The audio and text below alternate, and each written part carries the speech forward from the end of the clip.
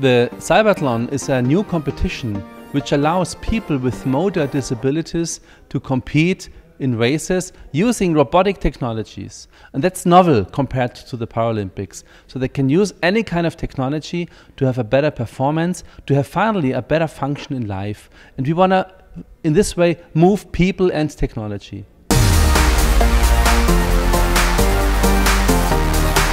At the Cybathlon, we have six different kind of disciplines or races. One, for example, is a wheelchair race where people are allowed to use powered motorized wheelchairs. Another one is with exoskeletons. Then we have one with leg prostheses, with arm prostheses, and a bike race with muscle stimulation. And always four pilots are starting together to compete in one race. And all over the Cybathlon, we have 80 participants. And this way, we, we move people and technology.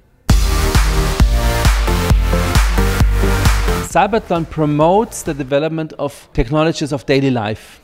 That's why we have built up racetracks, which are relevant in daily life, like opening a door, walking upstairs or ramps, preparing breakfast with arm prostheses, carrying bags and boxes. These are important tasks for daily life.